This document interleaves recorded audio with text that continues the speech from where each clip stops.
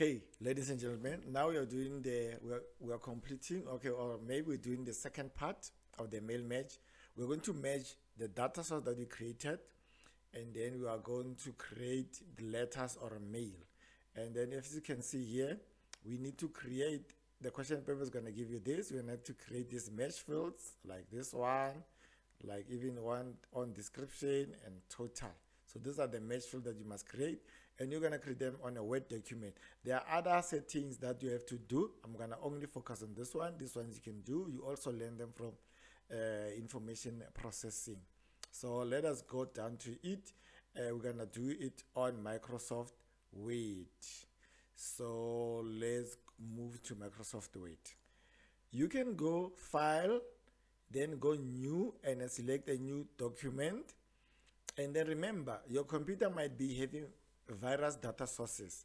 So obviously you're going to be on mailing and you find that on mailing, nothing is active, only uh, envelopes, labels, start mail merge and select recipients. So you're going to go on start mail merge, letters, and then select the recipients. And then you're going to click on what? Use existing list and you're going to click on your list. You want to use which list? You're going to use, let's say you're going to use client list because the one that you created and say open. Then it opens other menus for you. The process, that process is very important so that you use the right data source for the letter. It's very important because if you don't select, you your letter can pick up wrong data on the source. So for you to use the right data source, go to a new file and select the data list that you want to use. So I'm going to create a very short letter just for demonstration purposes. Let's say we're saying the letter is going to, and then the name of the customer is in the source. So we're gonna go to insert a customer name, and then I'm gonna enter once and tap once, and then I'm gonna go back to the uh, uh, the the merge field and I'm say uh, the, the address of the person insert. And then after inserting I close. Enter tap once. Insert another one say phone number. Enter tap once. And then we say we're looking for the email of the, the person. Enter uh, tap once. I'm gonna tap three times on this one. Insert description. And then I'm gonna tap again. Maybe I'm gonna type here total amount. And then I'm gonna insert the merge field for the total there and then I'm gonna generate a letter. I I may also add maybe just something, just an element there at the bottom. I can say thank you. Thank you for support.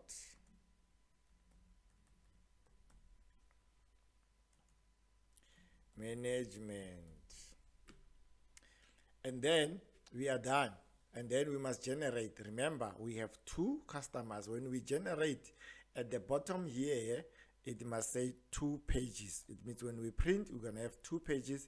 So every customer is to have his own personalized invoice and his own amount according to our data sources. So let us see.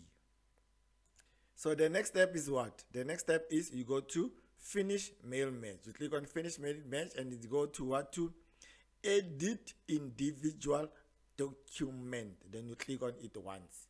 And it's gonna have this one, this uh, dialog box. It says all, then you click OK. When you click OK, watch at the bottom, it's gonna say it's, it's supposed to have generated two letters. Let us scroll down. We've got Stanley you can see there we got Stanley and then who else do we have? I'm gonna scroll down. Scroll down scroll down scroll down. We've got Jones. We got Jones. See, you you don't have another letter at the bottom. I think that uh, the document just overlapped for settings purposes but you've got stanley and jones. These are the two letters that you submit for your for your examination. And then you you you you are almost done because you you print out your letters and then you collect your uh, i think it's like 25 marks almost 25 marks including your settings and other settings. You collect your 25 marks for generate.